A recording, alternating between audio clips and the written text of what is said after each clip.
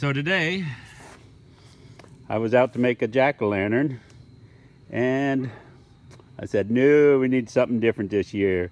So I made a Trump-a-lantern. Pretty scary, huh? Pretty scary.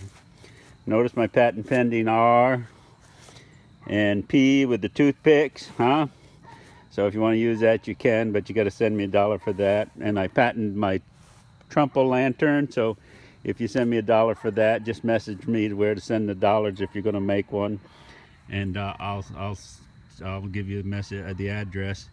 So uh, there it is. I've booby trapped it and uh, made sure nobody'd steal it or crush it without getting a big surprise. Not really, but I've got good neighbors. You see, we live out here in good neighborville and uh, it's pretty nice. So, but anyway, want something to do different for Halloween? Make a Trump-a-lantern.